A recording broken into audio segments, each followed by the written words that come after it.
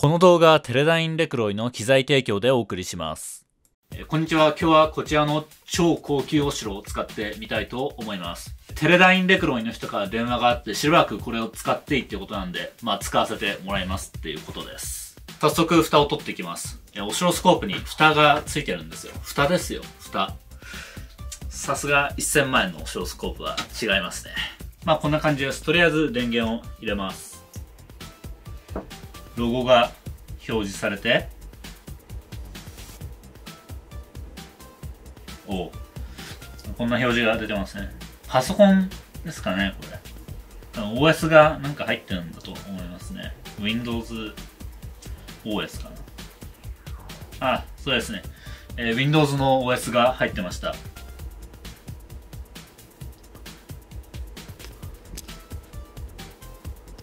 電源を入れてから1分後くらいで使えるようになります。Wave Pro HD 8GHz サンプリングは 20GB です。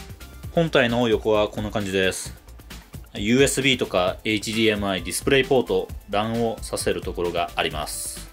これからはこのハイエンドオシロスコープを使ってこんな風にコンセントから来ている 50Hz の電源電圧を測ることができます。冗談です。こういったハイエンドオシロスコープを使って 50Hz の電源電圧の波形を測っても、まあいいんですけど、それはちょっともったいない使い方だと思います。このハイエンドオシロスコープでしかできない測定、例えば、こういった自作パソコンとかの DDR メモリーの波形の測定とか、そういったものに、これを使うのが非常に有効だと思います。エントリークラスのオシロスコープの大きさがだいたいこのくらいです。なので3倍くらいの大きさがありますね。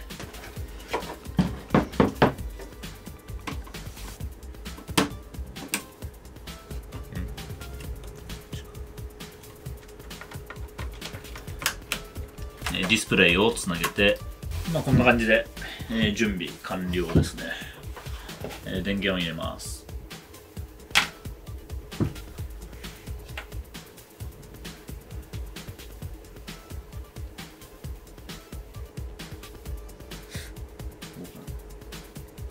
CPU の電源ですね。動きましたね。何も起動ディスクを挿してないので、起動はしません。ただこの状態でも測定はできるので、これでやってしまいます。もうディスプレイ使わないので、取ってしまいます。これは DDR3 のメモリーで動作周波数は 1333MHz です。DDR メモリーの波形を見たいわけですから、まあ、プローブが必要になります。まあ、その 1GHz くらいの波形をどういう風に見るかというと、こちらのプローブを使います。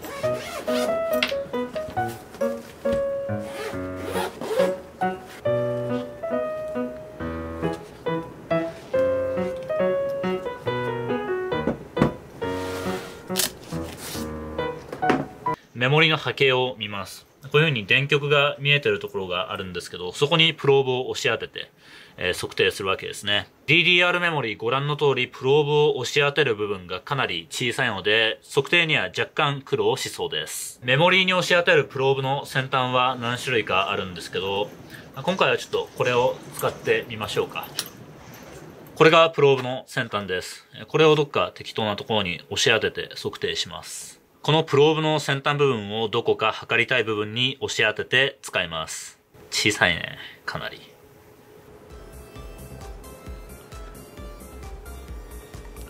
この先端の部分を直接持つわけにもいかないので、こういう風に持つ専用の部品をくっつけます。こういう風に持ち手の部分を持って測定したいところに押し当てます。ちなみにプローブ専用の台ってのもあるんですね。ここの部分に線を通してで入れると。そしてこういうふうにやります。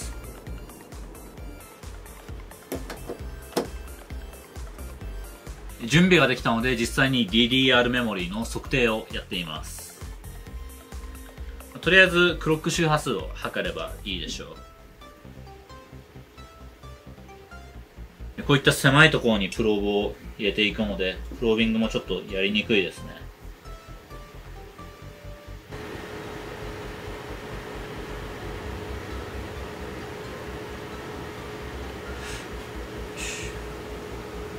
トップ。ストップとここれは DDR メモリーのクロック波形です。DDR3 ですね。このメモリー波形の一周期が今1.5ナノ秒なので、えー、666MHz のバスクロックで、え、DDR メモリは動作しています他にも波形をいくつか測定したいのですが、こういうふうにプローブをいくつも持って、そして押し当てるという作業は大変なので、こちらの DDR 基板上に直接ハンダ付けしてしまいます。ハンダ付け専用の先端があるので、これを使います。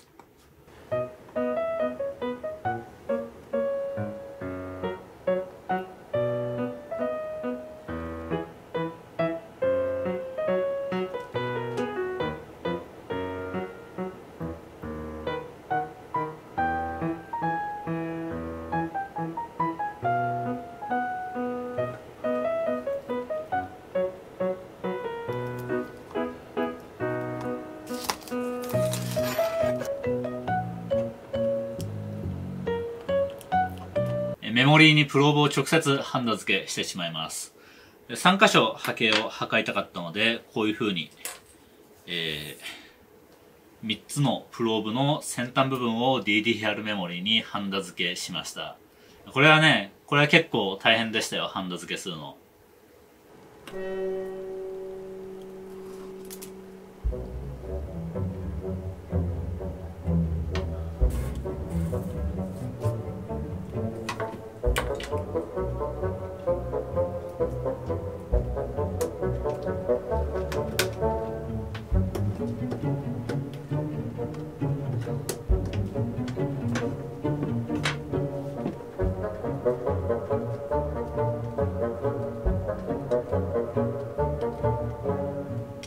結構線がごちゃごちゃしてますけど、まあこんなもんだと思います。このメモリー基板自体を慎重に取り付けないと、こういう風にハンダ付けした箇所に力がかかってすぐ取れちゃうので、まあ、慎重にやりましょう。えー、こんな感じで DDR メモリーっぽい波形がなんか出ていますね。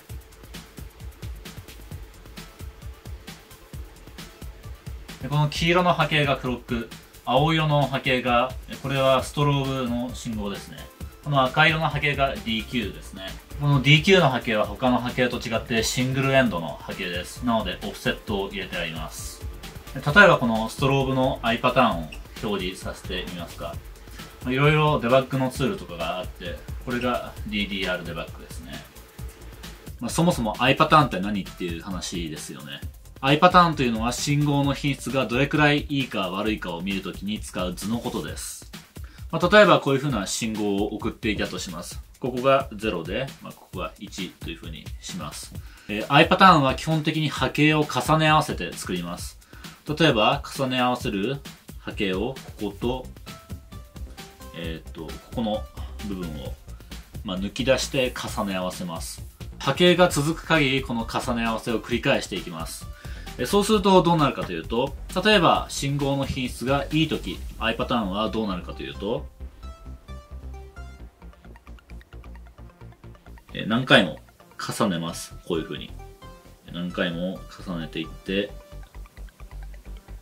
まあ、重ねていった結果がこれです。信号の品質がいいので波形がよく重なります。この部分が、えー、開いています。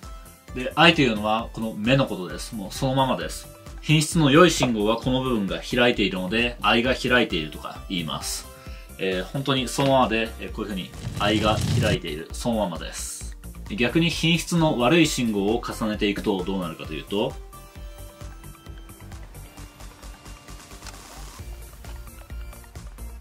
えー、I の部分があまり、まあ、はっきりしなくなってきたわけですね。で品質の悪い信号なので、この I が小さくなります。こういった場合は、愛が閉じているとか言いますね。これも本当に、まあ、目が閉じている、そのままです。